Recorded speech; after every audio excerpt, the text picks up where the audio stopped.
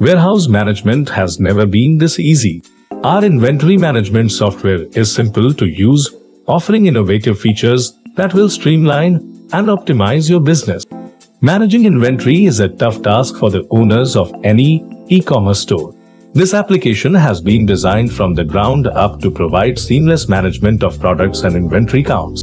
So in this video, let's check out how to manage multiple warehouses. Open application in your device. To add or manage warehouses, you will have to go in navigation menu and select warehouse option. Click the button at the bottom to add a warehouse. Enter a title for warehouse and a description. Description is optional. And it is done. Warehouse is being added to the app. Now this warehouse can manage its inventory separately. Search feature will help to search any warehouse by its title or description.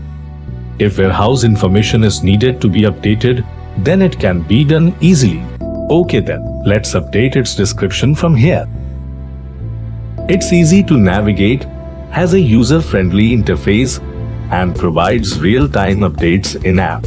With this app, you and your staff can submit purchase orders, receive deliveries and inventory, create and print packing lists, as well as monitor transactions via a database of all transactions. This employee-centric app gives you access to the entire inventory of your warehouse, whichever device you may be using. Warehouse management is complicated.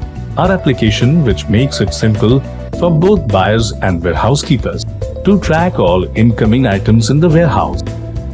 So this was it, all about warehouse management. Like and subscribe to this channel for more interesting videos.